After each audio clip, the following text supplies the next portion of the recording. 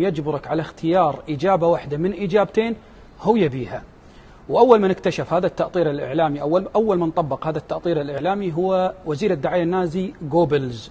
والتأطير الإعلامي باختصار هو أني أجبرك أو أعطيك خيارين وخليك تختار اختيار أنا أبيه. مثلا لو رحت عند واحد زيارة دخلت عنده في بيته وقال لك شنو تشرب عصير ولا قهوة؟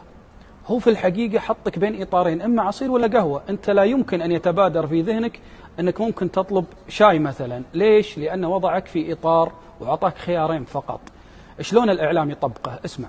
لو تلاحظ الإعلام العربي اليوم تجده يضعك بين خيارين إما الإرهاب أو الانحلال. يعني يقول لك اختار تبي إرهاب ولا تبي انحلال؟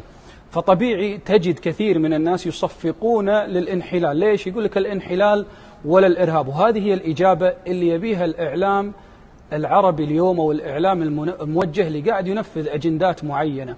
هو يريد أن يقلب المجتمع رأسا على عقب. لذلك استخدم مسألة التأطير حتى يجبرك بين إجابتين. وهذا الفعل استخدم زعماء قريش مع النبي صلى الله عليه وسلم لكن شلون تعامل النبي صلى الله عليه وسلم مع هذا التأطير الإعلامي؟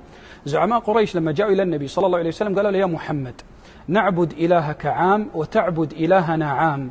هذا تأطير يعني وضع النبي صلى الله عليه وسلم بين خيارين اختار.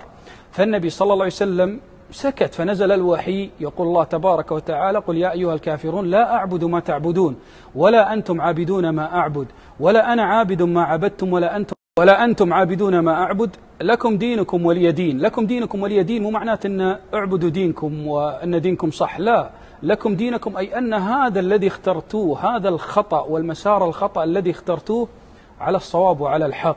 لذلك انتبه من موضوع التأطير الإعلامي لأنه راح يختطف عقلك فعلا وستصفق لأمور آه، غير صحيحة وسيغيب عنك الاختيار الوسط الاختيار المختلف تماما عن الاختيارين اللي يقدمها لك الإعلام العربي. لذلك لا تستغرب إذا رأيت يعني آه، تكثيف إعلامي في تأطير هذه المسألة وتأطير عقول المشاهدين وعقول العرب لأنه في